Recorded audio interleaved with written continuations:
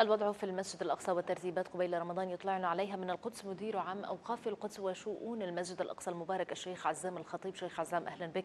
إذا نحن على بعد أيام فقط من شهر رمضان المبارك.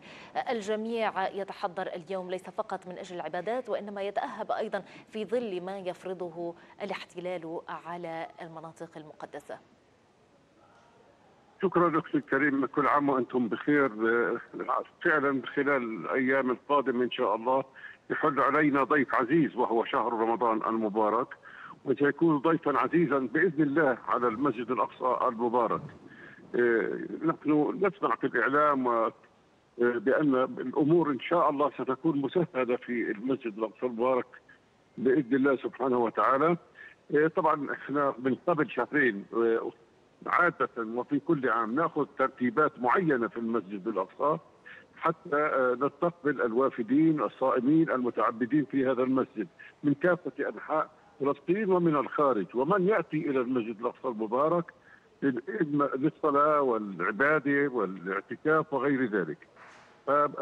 يعني أعددنا ترتيبات الشؤون الدينية بشكل كامل سواء كانت في الدروس الدينية سواء كان بصلاة التراويح والثروات الأخرى أئمة مؤهلين أكفاء قراء حفظ القرآن الكريم هذا إن شاء الله سيكون في في هذا الشهر الفضيل من صلاة الفجر حتى ما بعد صلاة التراويح.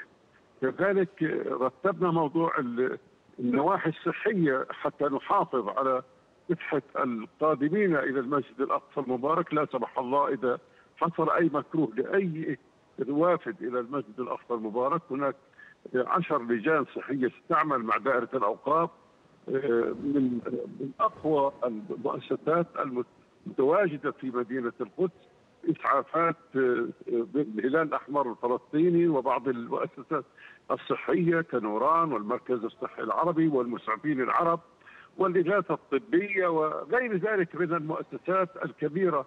وحتى المستشفيات المقاصد والمطلع كلها اجتمعنا معها عدة مرات وسيساعد دائرة الأوقاف في هذا الشهر الفضيل كما هو كل عام.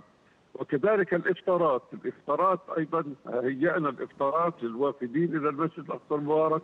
إفطار سواء كان الإفطارات أو حتى السحور ستكون في هذا العام مقتصرة فقط على دائرة الأوقاف ولجنة الزكاة التابعة لدائرة الأوقاف الإسلامية.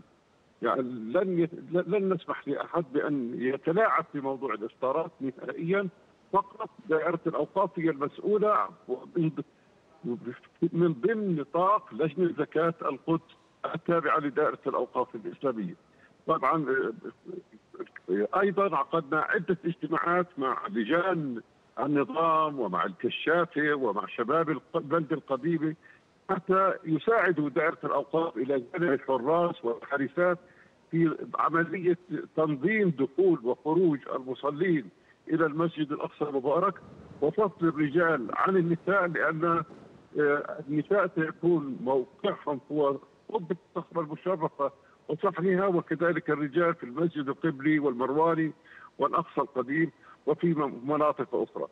يعني الحمد لله رب العالمين هذه الترتيبات بإذن الله سبحانه وتعالى ستساعد وستساهم في أن يأتي الوافد إلى المسجد الأقصى بأريحية الصلاة والعبادة وقراءة القرآن لأن هناك كثيرين من منذ فترة طويلة لن يصلوا إلى المسجد الأقصى المبارك. فنسأل الله أن يكون عاما شهرا كريما على مدينة القدس. التي تعاني والتي من ناحية اقتصادية ومن نواحي أخرى ومن ناحية إغلاق المسجد أمام الكثير الكثير من المسلمين منذ فترة طويلة.